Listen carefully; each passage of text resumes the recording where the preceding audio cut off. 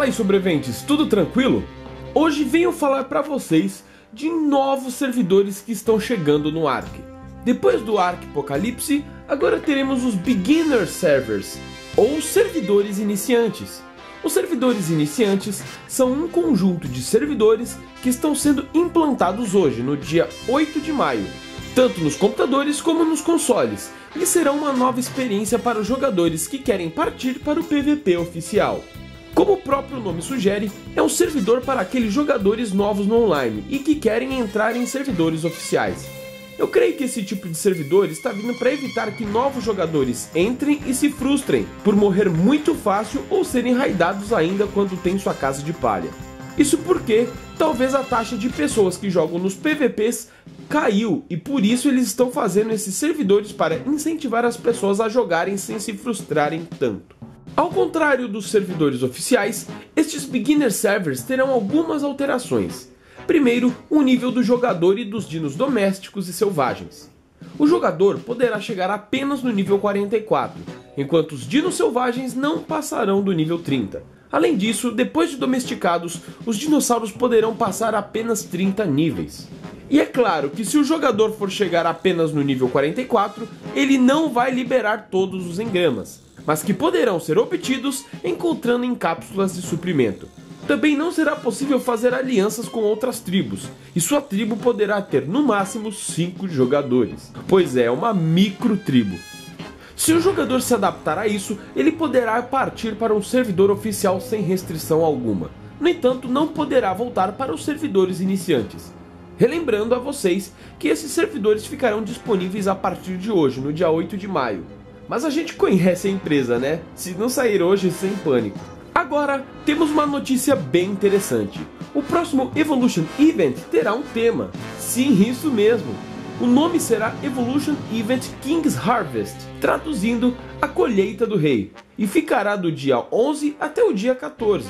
E terá o aumento da colheita em 1.5 vezes o crescimento das plantações aumentado em 3 vezes e a efetividade das receitas aumentadas em 1.5 vezes. Gente, eu sei que não terá domesticação e nem experiência aumentada, sei que é embaçado ficar sem o Evolution Event. No entanto, ver que eles colocaram temas nos abre novamente possibilidades de ter, por exemplo, acasalamento, maturação, gestação e chocamentos de ovos em próximos Evolution Events, pois é algo que não estávamos tendo ultimamente. E talvez essa seja a oportunidade para eles darem um pouco mais de foco nas plantações das tribos e não apenas aos animais, fazendo com que os sobreviventes aproveitem este período para plantar e colher.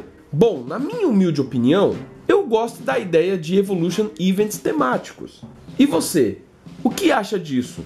Deixe nos comentários. E por fim, notícia de Ark Mobile. Galera sempre anda me perguntando e eu vou responder agora. Não, ainda não temos data de lançamento. Para você ter uma ideia, semana passada foi adicionado aliança de tribo e adição de novo membro para a tribo. Ou seja, o jogo está passando do estado cru para o estado que conhecemos atualmente. No entanto, tem uma notícia que possivelmente vocês não vão gostar tanto assim. Todos se lembram que Ark Mobile será gratuito, né? Já me perguntaram se terá algum conteúdo pago e eu prontamente disse que sim, como mapas do The Center e Ragnarok, que serão pagos caso tenha eles. E procurando por notícias, eu me deparo com isto.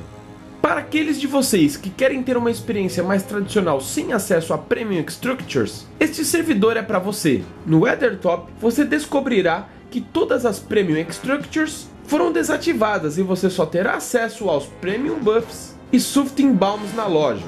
Bom, com esse pequeno trecho que eu peguei, podemos perceber duas coisas. A primeira é que sim, teremos uma loja onde pagaremos com dinheiro de verdade. E também percebemos que ele fala de Premium Structures, ou seja, estruturas premium. Desculpe, mas eu não acho que isso seja um novo tipo de estrutura, e sim, quem sabe, uma estrutura de metal ou estrutura tech, que você só vai conseguir comprando. Cara, isso é meio frustrante, né? Porque se a gente tiver que desembolsar dinheiro vivo para poder comprar estruturas de metal ou algo parecido, será que teremos que comprar também celas ascendentes, celas de giga, cela de cats ou de mosasauro? Infelizmente não sabemos. Eu não estou falando em comprar a cela em si ou a estrutura em si. Afinal de contas, teremos metal no jogo à vontade para todo mundo pegar. Mas eu tô falando do engrama dele, liberar o engrama. O engrama só vai ser liberado se a gente comprar e não se a gente alcançar um nível, entendeu? E o que seria Premium Buffs também? Deixe suas ideias nos comentários para a gente discutir o que pode ser essas estruturas premium e tudo mais sobre Ark Mobile. E por enquanto é só, pessoal. Estou upando um vídeo de Ark Aberration enquanto vocês veem esse vídeo. E o projeto Ark será gravado nesta sexta-feira, ok? Então, sem pânico, por favor. Se inscreva no canal se você não é inscrito, pois a qualquer momento eu posso voltar com mais um vídeo de Ark Survival Evolved. Muito obrigado!